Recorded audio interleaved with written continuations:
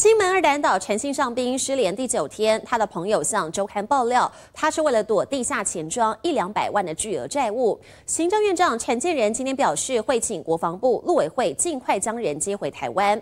但是有中国网红声称，陈姓士兵已经在厦门挑房子，房子还是送的。国防部长邱国正则说，直觉反应就是认知作战的一环。什么？他在那配房子啊？这各位自己去思考看看啊，可能不可能？金门二点岛失联的陈姓上兵人在厦门，不仅传出不想回来，有中国网友在微博发文透露，这名上兵已经在看房，而且还是送的。国防部长邱国正直觉这消息太夸张，只是现在反映出一个认识作战的一环，让我们的心理方面会动摇。我没有获得这样的资讯，纯粹是子虚乌有。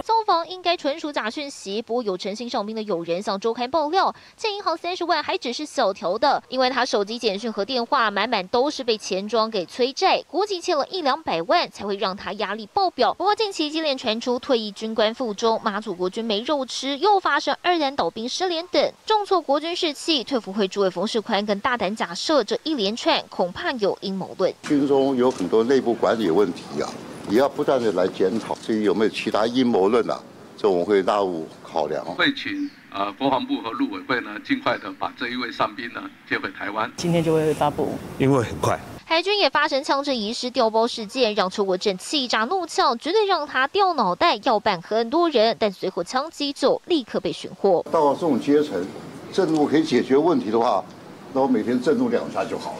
两岸情势紧绷之际，国军争议连环爆，不仅长官震怒，从上到下都得上紧发条。接台北综合报道。